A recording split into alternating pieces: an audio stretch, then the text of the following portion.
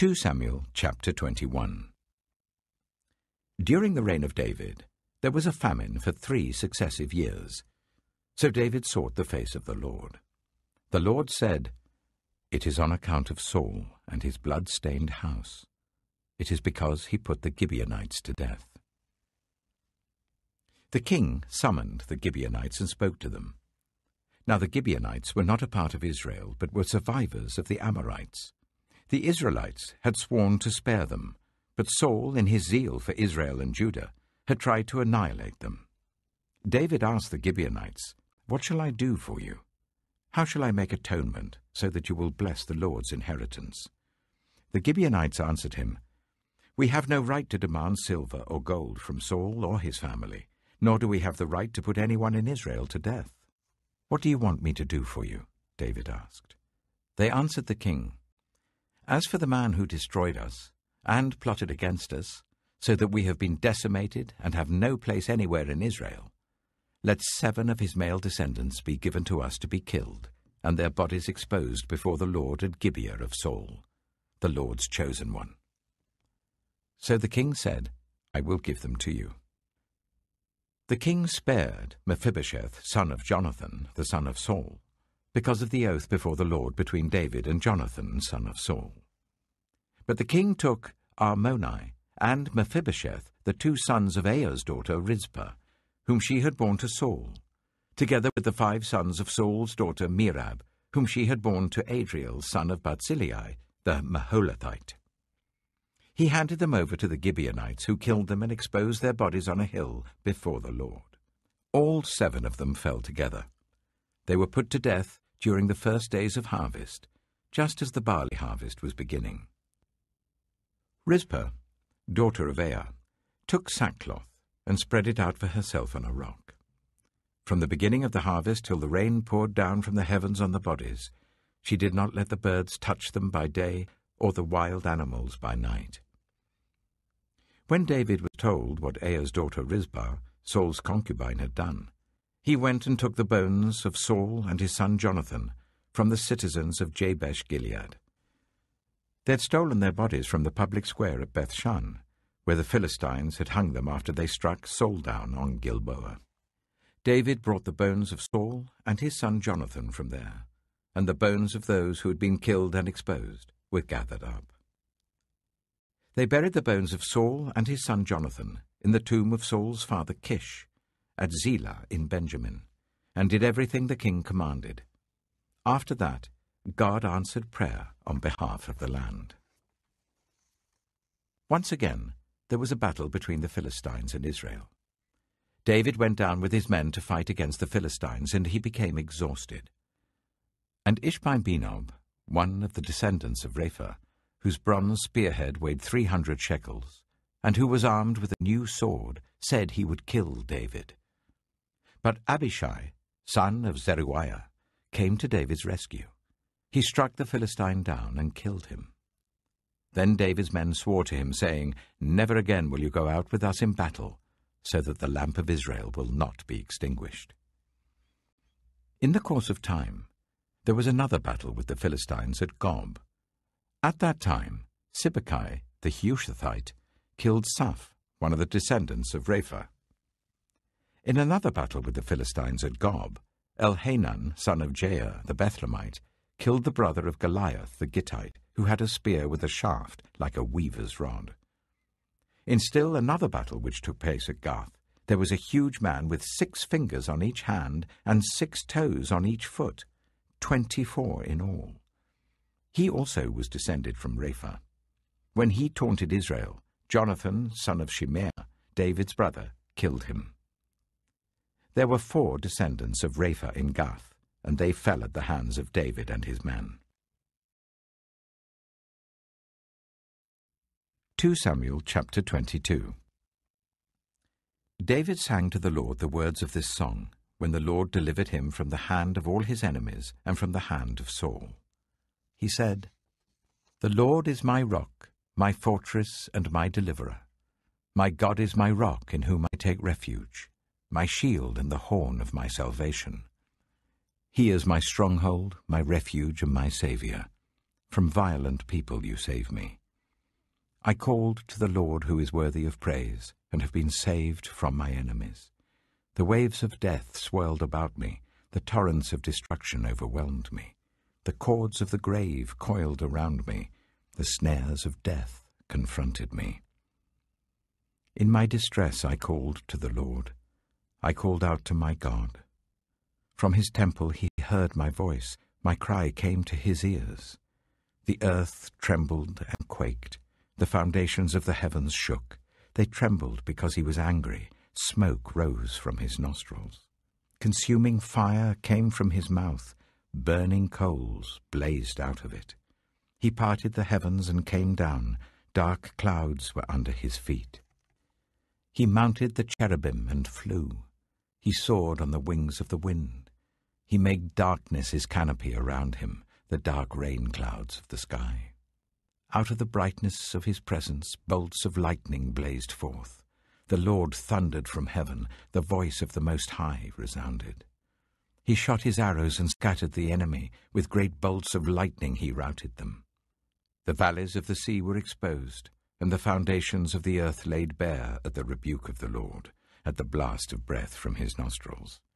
He reached down from on high and took hold of me. He drew me out of deep waters. He rescued me from my powerful enemy, from my foes who were too strong for me. They confronted me in the day of my disaster, but the Lord was my support.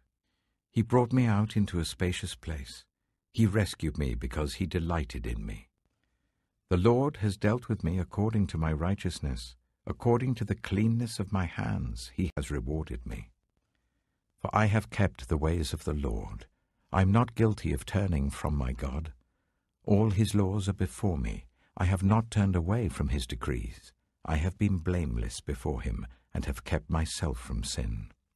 The Lord has rewarded me according to my righteousness, according to my cleanness in his sight. To the faithful, you show yourself faithful.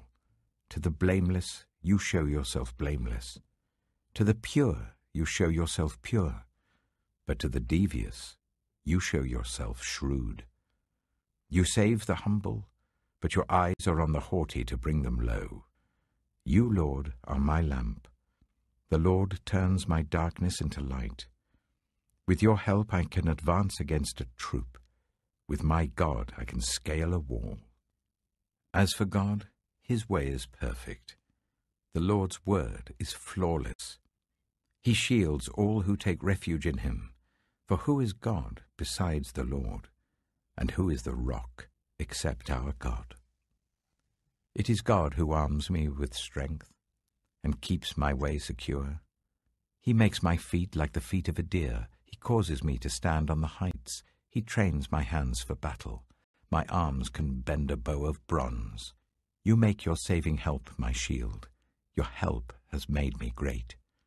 You provide a broad path for my feet, so that my ankles do not give way. I pursued my enemies and crushed them. I did not turn back till they were destroyed. I crushed them completely, and they could not rise. They fell beneath my feet. You armed me with strength for battle. You humbled my adversaries before me. You made my enemies turn their backs in flight, and I destroyed my foes. They cried for help, but there was no one to save them. To the Lord, but he did not answer. I beat them as fine as the dust of the earth.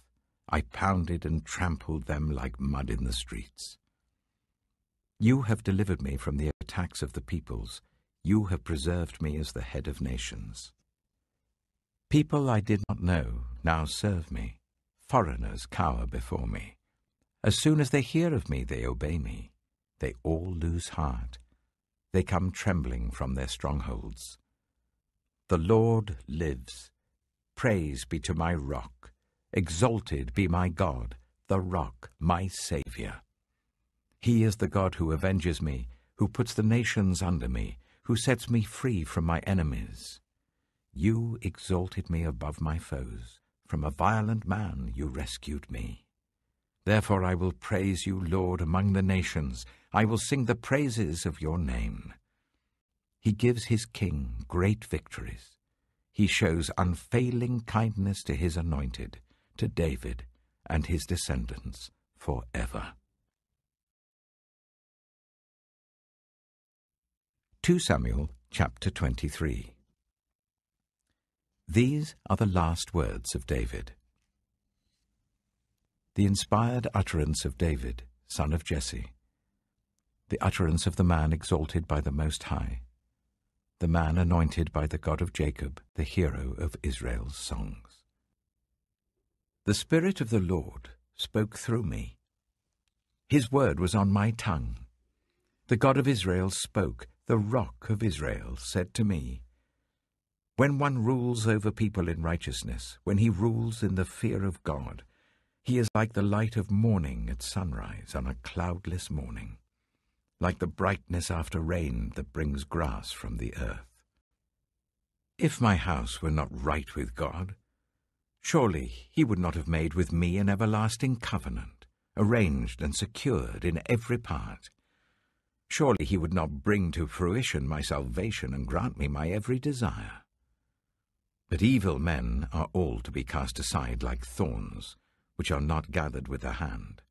Whoever touches thorns uses a tool of iron or the shaft of a spear. They are burned up where they lie. These are the names of David's mighty warriors. Josheb Basshebeth, a Tahkemonite, was chief of the three he raised his spear against eight hundred men whom he killed in one encounter. Next to him was Eleazar, son of Dodai the Ahohite.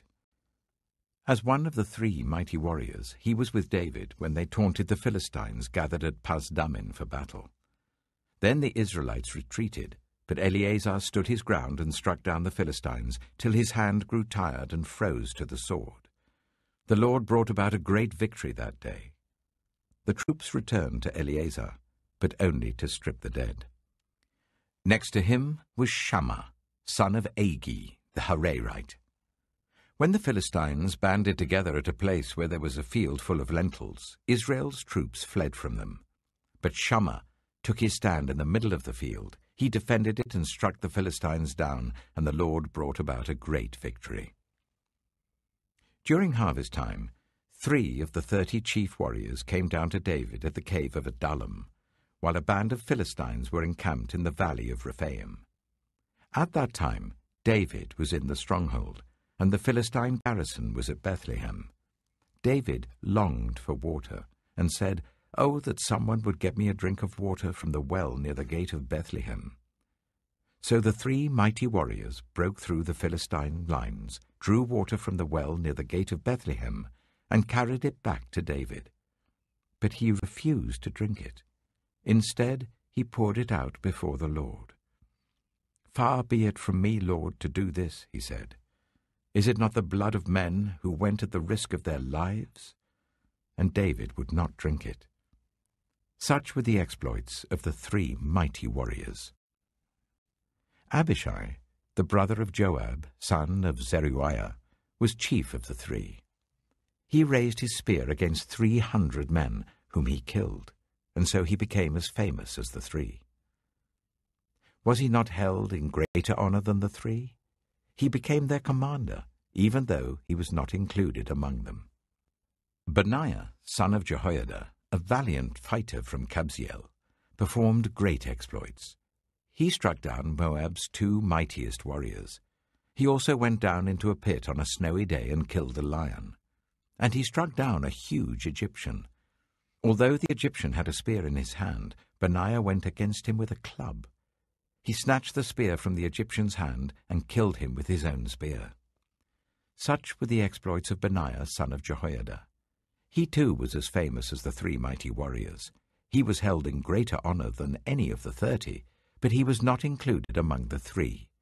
And David put him in charge of his bodyguard. Among the thirty were Asahel, the brother of Joab, Elhanan, son of Dodo, from Bethlehem, Shammah, the Harodite, Elika, the Harodite, Helez, the Paltite, Ira, son of Ikkesh from Tekoa, Abiezer, from Anathoth, Sibbekai, the Hushathite, Zalmon, the Ahohite, Maharai, the Netophathite, Heled, son of Baanah the Netophathite, Ittai, son of Ribai, from Gibeah in Benjamin. Benaiah, the Pirathonite, Hiddai from the ravines of Gaash, Abi Albon, the Arbathite, Azmaveth, the Barhumite, Eliahba, the Shaalbonite, the sons of Jashen, Jonathan, son of Shammah the Hararite, Ahiam, son of Sherah the Hararite, Eliphelet, son of Ahasbai the Maakathite, Eliam, son of Ahithophel the Gilonite, Hezro the Carmelite, Paarai the Arbite, Igal, son of Nathan from Zobah, the son of Hagri, Zelek the Ammonite, Naharai the Beerothite, the armor-bearer of Joab, son of Zeruiah, Ira the Ithrite, Gareb the Ithrite, and Uriah the Hittite. There were thirty-seven in all. John chapter 13 It was just before the Passover festival. Jesus knew that the hour had come for him to leave this world and go to the Father. Having loved his own who were in the world, he loved them to the end. The evening meal was in progress, and the devil had already prompted Judas, the son of Simon Iscariot, to betray Jesus. Jesus knew that the Father had put all things under his power, and that he had come from God and was returning to God. So he got up from the meal, took off his outer clothing, and wrapped a towel round his waist. After that, he poured water into a basin and began to wash his disciples' feet, drying them with the towel that was wrapped around him. He came to Simon Peter, who said to him, Lord, are you going to wash my feet? Jesus replied, You do not realize now what I am doing, but later you will understand. No, said Peter, you shall never wash my feet. Jesus answered, Unless I wash you, you have no part with me. Then, Lord, Simon Peter replied, not just my feet, but my hands and my head as well. Jesus answered, Those who have had a bath need only to wash their feet. Their whole body is clean. And you are clean, though not every one of you. For he knew who was going to betray him, and that was why he said not everyone was clean. When he had finished washing their feet, he put on his clothes and returned to his place. Do you understand what I've done for you? he asked them. You call me teacher and Lord, and rightly so, for that is what I am.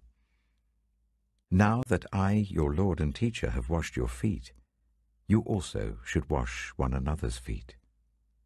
I have set you an example that you should do as I have done for you. Very truly I tell you, no servant is greater than his master, nor is a messenger greater than the one who sent him. Now that you know these things, you will be blessed if you do them. I'm not referring to all of you. I know those I have chosen. But this is to fulfill this passage of Scripture. He who shared my bread has turned against me. I'm telling you now before it happens, so that when it does happen you will believe that I am who I am.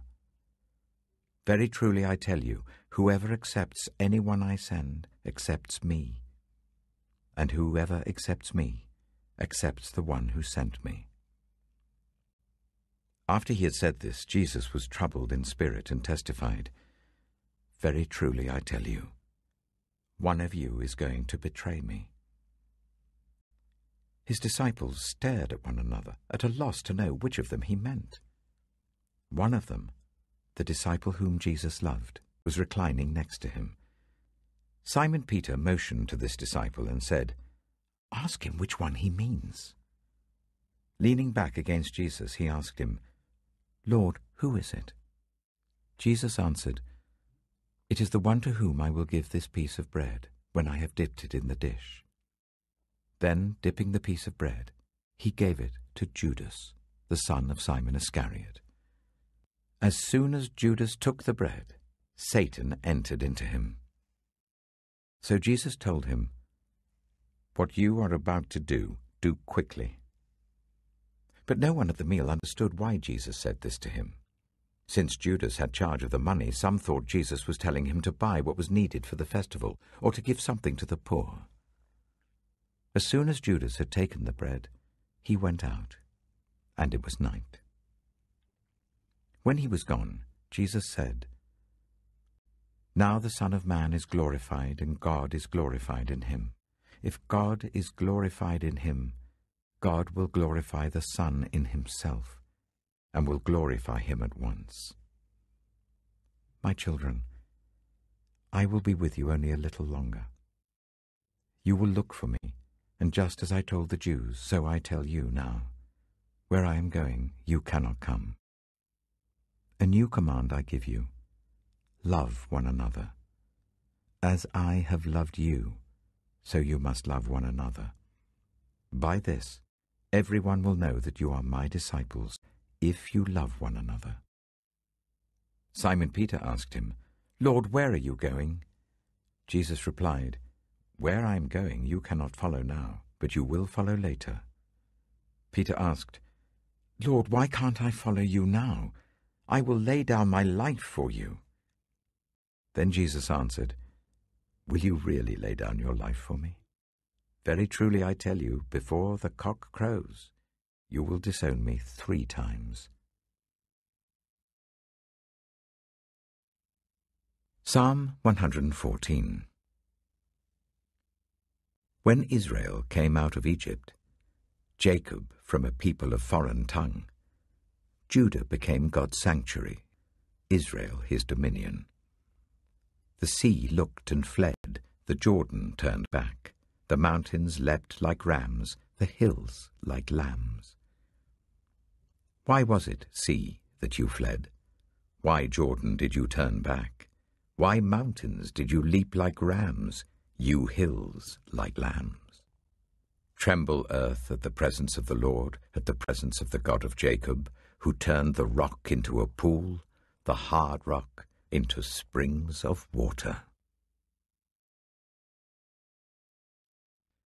Proverbs chapter 21 In the Lord's hand, the king's heart is a stream of water that he channels towards all who please him. A person may think their own ways are right, but the Lord weighs the heart. To do what is right and just is more acceptable to the Lord than sacrifice. Haughty eyes and a proud heart, the unploughed field of the wicked, produce sin. The plans of the diligent lead to profit, as surely as haste leads to poverty. A fortune made by a lying tongue is a fleeting vapour and a deadly snare. The violence of the wicked will drag them away, for they refuse to do what is right.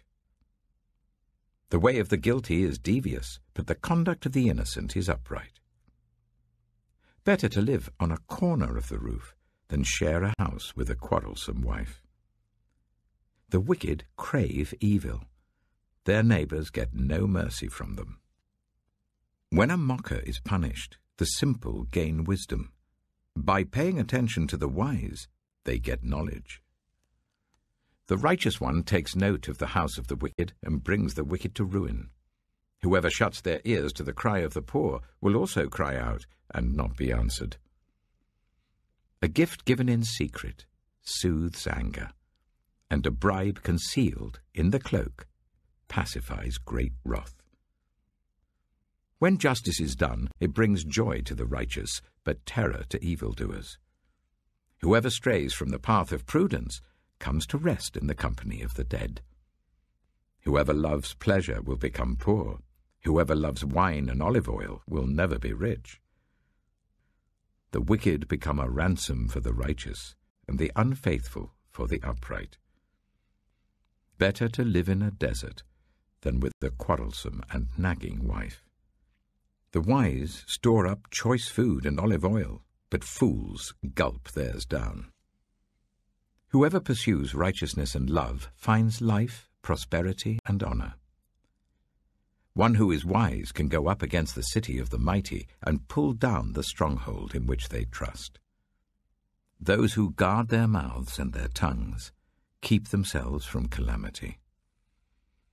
The proud and arrogant person Mocker is his name, behaves with insolent fury.